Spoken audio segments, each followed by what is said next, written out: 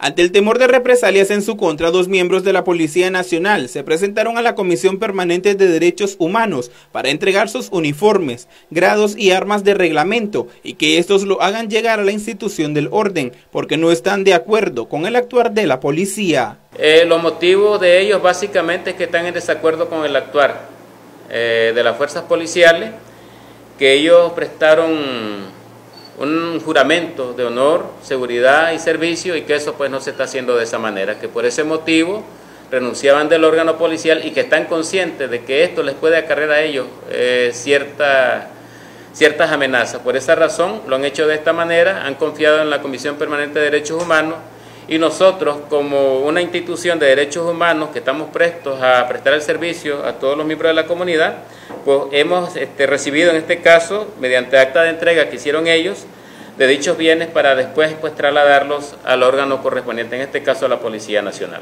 En horas de la tarde, miembros de la Comisión Permanente de Derechos Humanos se presentaron al complejo policial Faustino Ruiz para hacer entrega a la Policía Nacional. Hay una situación de que ellos fueron contratados para servir al pueblo, no para estar masacrando. De tal manera que nosotros estamos cumpliendo con el la voluntad de estos señores y pues podemos decirle que hemos hecho entrega formal de estos equipos, ¿verdad? Y eh, pues nos recibieron. legal le dieron?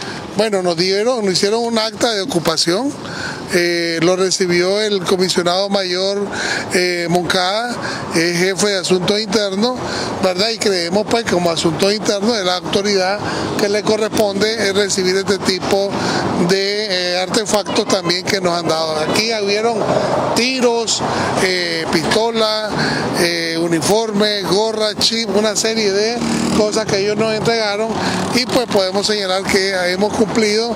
Eh, quizás tardamos un poco producto de que nos estaban dando una copia simple y para nosotros es importante la original y sellada por parte de ellos para dejar constancia de que la entrega fue eh, realizada efectivamente. También denunciaron que la abogada Jonarque Martínez y su familia han sido víctimas de acoso por la Policía Nacional y grupos paramilitares. Eh, se nos anda en una lista, no tan solo a mi persona, sino que a los vecinos que están alrededor, que al igual son familia de mis hijos.